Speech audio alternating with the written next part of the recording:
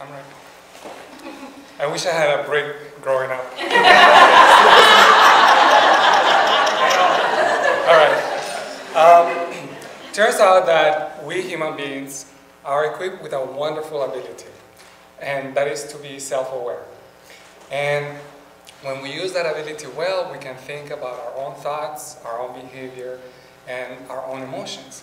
When we don't, then we suffer that we suffer, or we rationalize things and become delusional. And we all want the same thing. Everybody in this room and everybody ac across the planet. We want to be happy. That's not the issue. The problem is the way we go about it. so, in the pursuit of happiness, we wind up forgetting the mighty power of electricity, for example. Or we forget to be mindful and pay attention to what really matters in our lives. So I'd like to invite you to please close your eyes for a few seconds.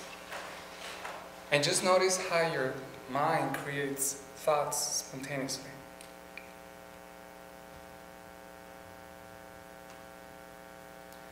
Please open your eyes. My talk today is about what happens when we fail to recognize that we can have mindfulness over those thoughts and ground our awareness in the present moment. So I play tennis recreationally, and every now and then I put myself in the ring and I play in a tournament. And a few years back, my uh, mixed doubles partner and I made it all the way to the final in the tournament. We were very excited, and during the first set, we were doing well. We were soaring and playing, you know, game plan and all of the things that coaches tell right before the game. so I felt great. I felt awesome. the people in the opponent team were not. They were having a horrible experience. They were turning on each other. They were arguing. Um, and they were actually starting to be a little bit mean towards us, making bad calls.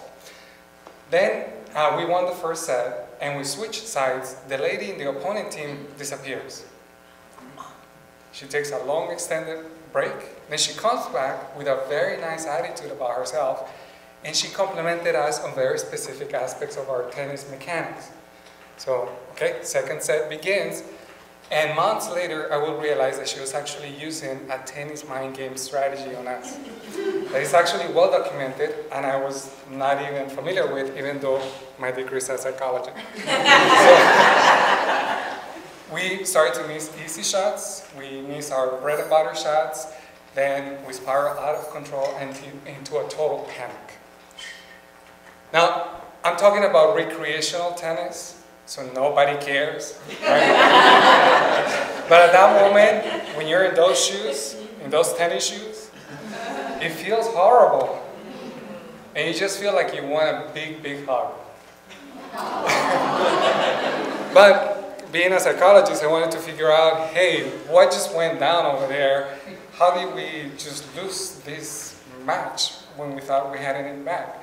So I started to read books and I started to learn more about um, mindfulness and meditation and the Tao sports and all of that. And I got really interested and I began to incorporate the teachings from these uh, books into my classes at GCC. And then all of a sudden, I saw more interest in my students. And I really got enthusiastic about it and I began to apply it in my own personal life as well. So what happened in the match? The lady was able to turn me into the trophy. She made me rigid, inflexible. Um, I wasn't able to really focus on what matters, which is watching the ball, right? And I just turned into the Gollum from the Lord of the Rings, thinking about the trophy. My precious. so, and I forgot to watch the ball. So these days, I continue practicing mindfulness and meditation in my personal life in my family life as I drive around town because there's a lot of crazy people out there. and um, I think that that woman in the opponent team gave me a wonderful gift. Not only that, I continue to receive many of those gifts these days in my life. But I think now I'm a little bit better equipped to, to be a little bit more, um, to have more equanimity, to, to be a little bit more balanced. So, Um, because of our human condition, chances are you're going to run into that lady. Um, not literally, but just remember that you can pay attention to your thoughts. That you, as long as you watch the ball, as long as you avoid getting electrocuted, you can enjoy the wonderful possibilities that is in the inherent happiness of the present moment.